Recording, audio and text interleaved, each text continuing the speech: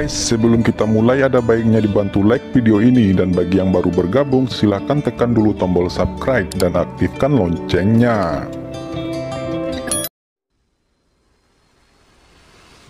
Setelah menunggu lama, akhirnya Demon Venerable bergerak.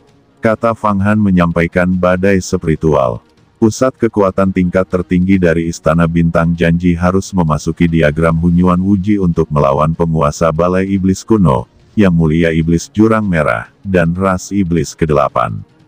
Aliansi orang bijak yang hebat. Tapi tingkat pertempuran ini bukanlah sesuatu yang bisa dibayangkan oleh Fang Han. Level pertarungan ini mungkin adalah pertarungan dunia antara Linglong Xianzun dan Tai Huang Tian. Dengan basis kultivasi Fang Han saat ini, jika dia menyentuhnya sedikit, dia akan langsung mati, dan tidak ada keberuntungan sama sekali. Dia tidak memiliki pikiran untuk bertarung, pertama-tama menekan, memurnikan, dan menjarak kekuatan gaibnya, dan kemudian memurnikan seluruh tubuhnya untuk menumbuhkan buah. Putra Cunan adalah raksasa tubuh abadi, dan dia berdarah ras protos. Setelah memurnikan dan menumbuhkan buah, tidak tahu berapa kali lebih kuat dari Kaisar Dewa Ushitian. Itu pasti akan membantu Fang Han menerobos kemacetan dan mencapai puncak tubuh abadi. Apalagi bisa mendapatkan 3000 dao dari Chunan Gongzi, banyak kekuatan magis. 3000 jalan yang dikuasai Chunan sangat banyak.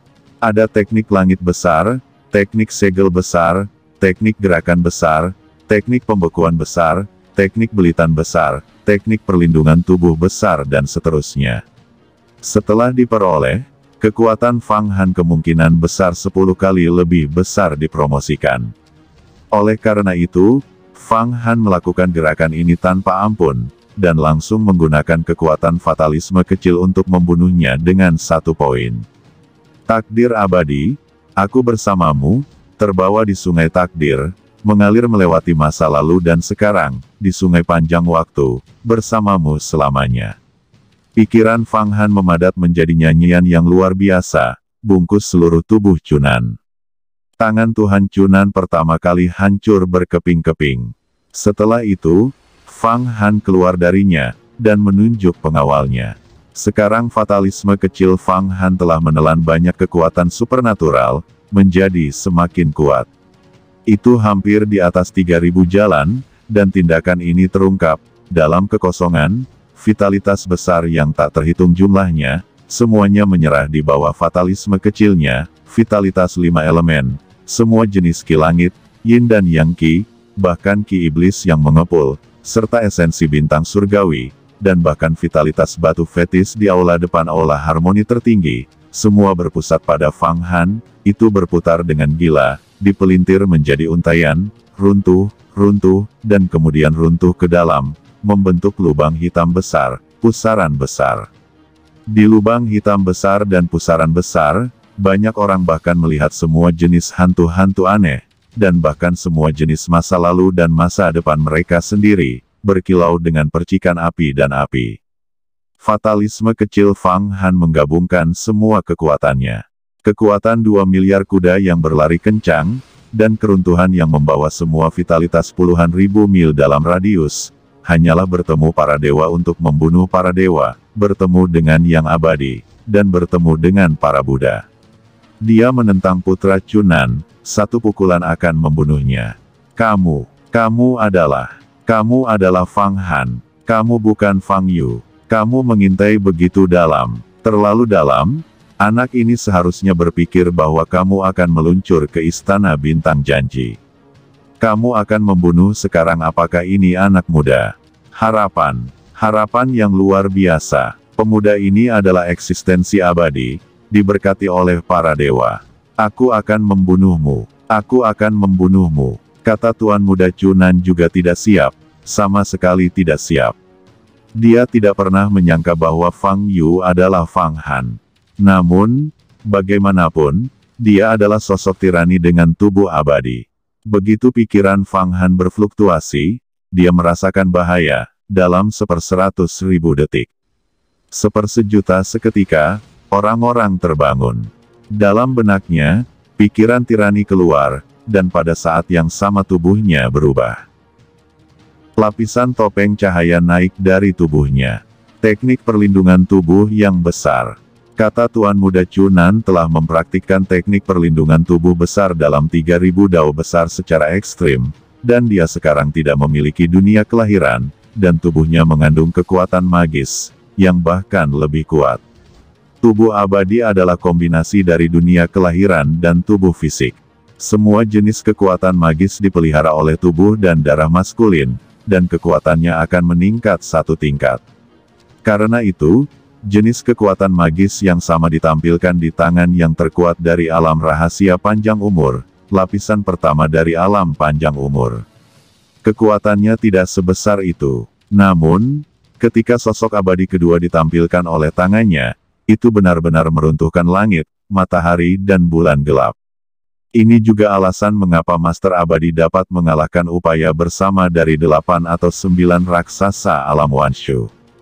Tidak hanya kekuatannya yang kuat, tetapi teknik saluran protos jauh lebih kuat.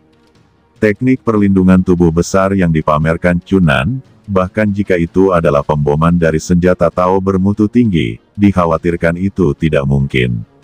Namun, fatalisme kecil Fang Han adalah 3000 Dao besar, teknik nasib besar yang paling misterius dan paling misterius dan peringkat tertinggi yang terkait dengan misteri tertinggi, bahkan Taois Hong Mengkuno tidak pernah menyadarinya.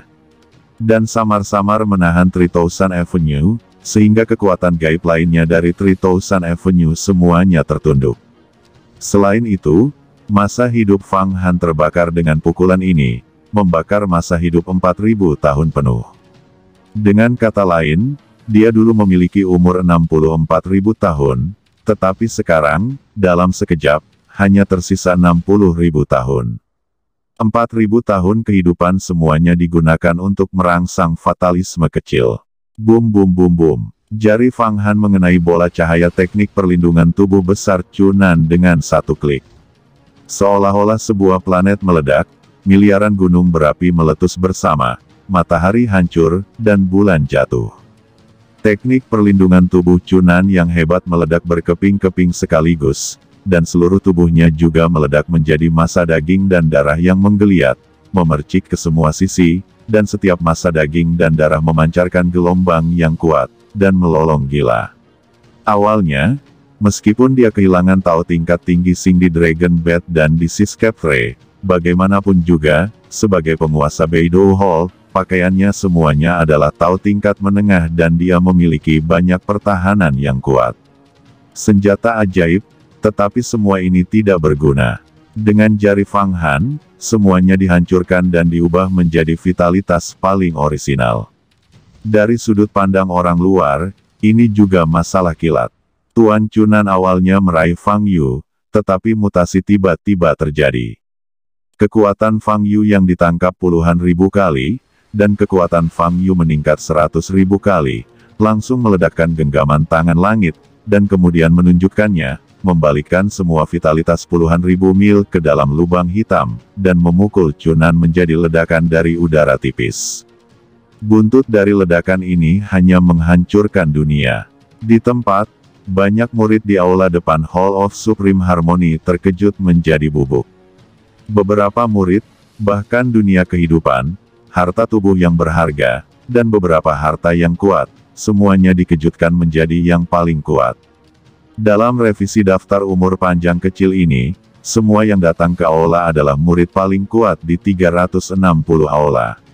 Setidaknya mereka adalah sosok tak tertandingi dengan 10 kekuatan gaib dan mengubah nasib mereka. Tapi sekarang, itu telah hancur.